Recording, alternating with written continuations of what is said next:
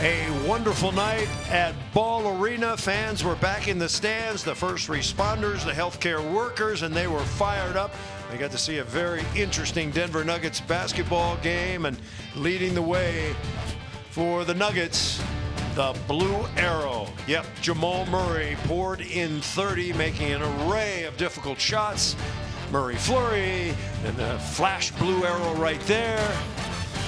And the Denver Nuggets picking up their 29th win this season. Hi, everybody. Welcome, Chris Marlowe and Scott Hastings. Well, this game started out like it was going to be the rout of the century. Nuggets led by one, or, or led after one, uh, by 22 points, Scott.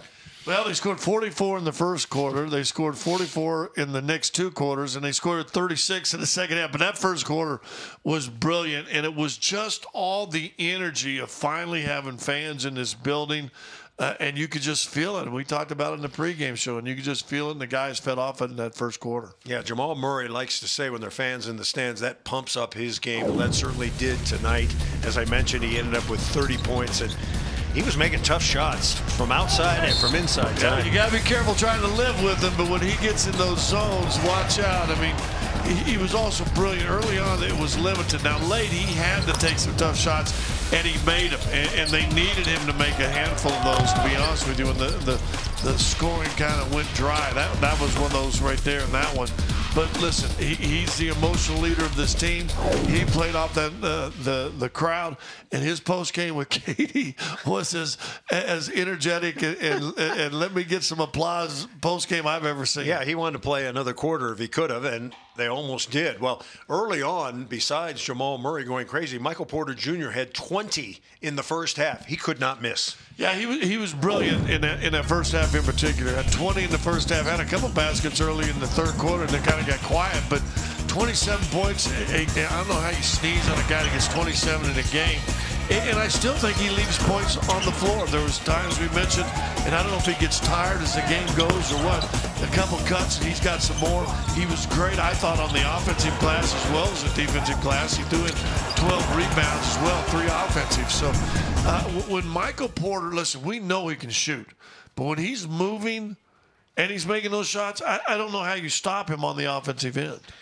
Well, it's not often that Nikola Jokic is our third banana of the night. He got another double double. That's his 42nd on the season. And uh, could he have more? Yeah. But I thought Nikola Jokic played a heck of a game. Well, and, and listen, they, they, they played physical. They played small. The, the officials early on, or late third and early fourth quarter, they, they kind of let, let them play, Philadelphia huh? play, and it really took a lot of starch out of the cell. But when it mattered, you know, when the, the, the big guys were on, the starters were on, I mean, he was he was outstanding, and he was doing about whatever he wanted to, whether it was Dwight Howard or whoever it was. So, uh, and by the way, that's that's not called. Neither one of those. But yeah, that was a foul. Were called. Yeah, they weren't called. But listen, Nikola Jokic made his presence known. Uh, but you're right, and, and, he didn't care.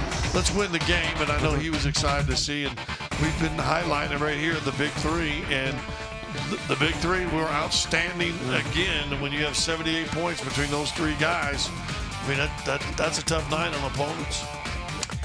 All right, so the Denver Nuggets now have a three-game winning streak. They're going to go on the road Thursday, and they're going to play at the LA Clippers. How do you how do you size up that matchup? Well, listen, you haven't seen them since Christmas, and that's a long time ago. You're a different team; they're a different team. Uh, you're playing well right now. You guys go in there and do the things you do well.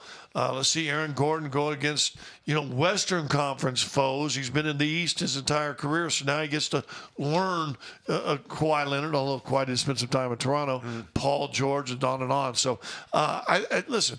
They're better. Let, us go and win. They did not play good on Christmas Day, and it was still a close game late. All right, that game on Thursday night, you can see it exclusively on TNT. We'll be back on the air on Sunday when the Nuggets uh, take on the Orlando Magic. Our start time is going to be 7 o'clock. Who does Orlando have left? Well, they got R.J. Hampton. You want to see him work his magic against the Nuggets? Nuggets Magic Sunday. Hope you join us then.